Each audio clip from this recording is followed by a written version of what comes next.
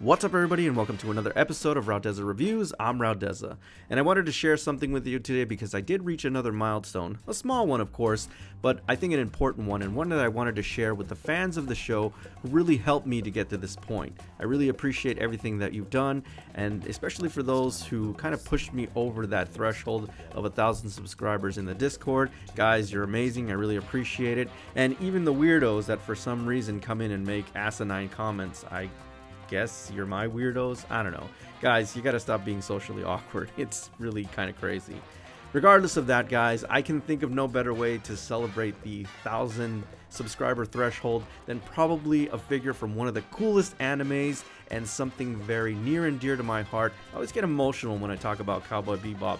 It's just really awesome, guys. And of course, we have the signature character, which is probably one of the best protagonists in anime, Mr. Spike Spiegel. So today we're going to be reviewing Good Smile's version of Spike Spiegel from the celebrated anime Cowboy Bebop. Let's take a closer look.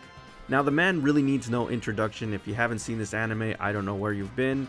He's the man, the myth, the legend, Spike Spiegel, along with his motley crew of other bounty hunters. Now the head sculpt here is really well, well done, guys, and a perfect recreation of what we see in the anime.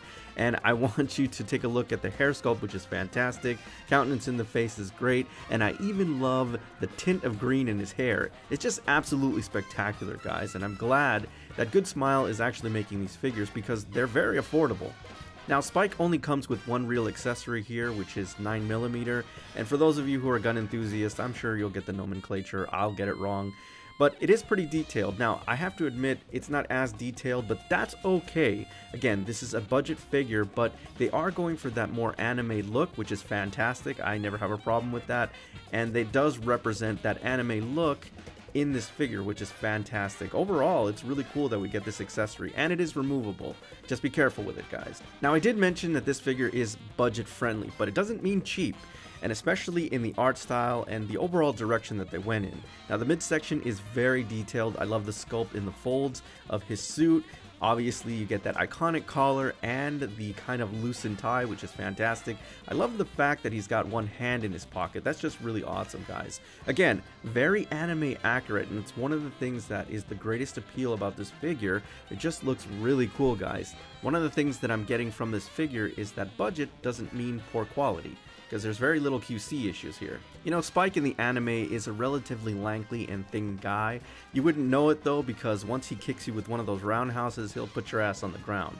Now the sculpt in the trousers are fantastic here. I particularly like the color palette. If you notice, it's a slighter shade darker of blue than the actual suit itself, which is again very anime accurate. I love the sculpt in the shoes themselves as well. It's really cool, guys. Again, it's very simple, understated, but anime accurate, and that's what we're going for here. Now, I wouldn't say you have to go ahead and mirror this piece because there's not too much going on in terms of the overall detail, although you do get a greater appreciation of the overall sculpt in the collar and the color palette, but most importantly is in the hair sculpt. Look at the details in the shades of green there. Again, very anime accurate, and I love that. You get a greater appreciation of how he stands and how he attaches to the base. Overall, I think it's just really cool. That's a very nice profile, by the way. Now, in terms of the stand, I'm glad that they went with a kind of simple hexagonal base. It's in a flat black. Not much going on here. It's very understated, but actually that I think is a positive thing. Since you're going to get the rest of the crew I think that for uniformity, once you put them together and display them together, this is going to look really nice so that they're not mixed and matched. And it also has the same amount of, I guess, floor space for your actual shelves or where you're going to be displaying them. So I think that's actually pretty cool. Here's the thing about these pieces. I know that they are higher end pieces of Cowboy Bebop, but they're very expensive. And as I mentioned before, budget doesn't mean cheap. And I think these are definitely the perfect compromise. So they're a definite must own and they're certified. These are freaking awesome figures, guys.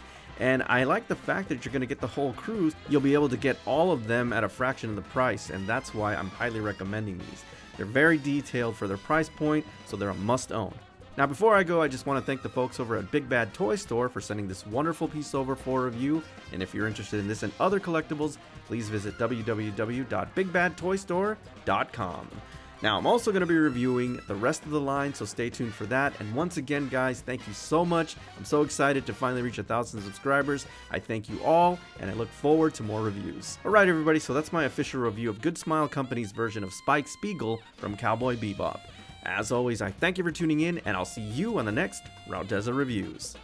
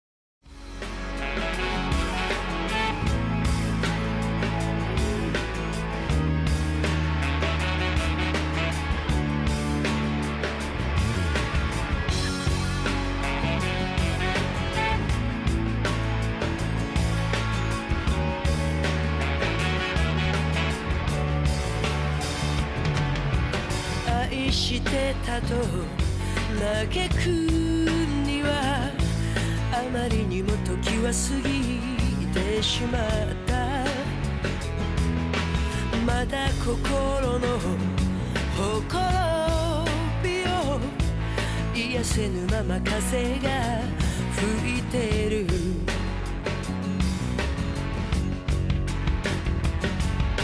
一つの目で明日を見て一つの目で昨日を見つめてる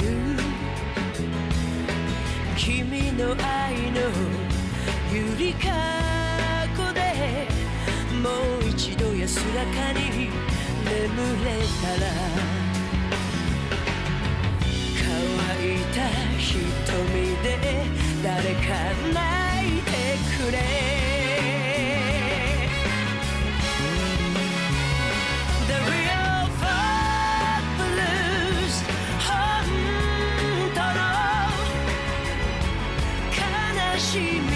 she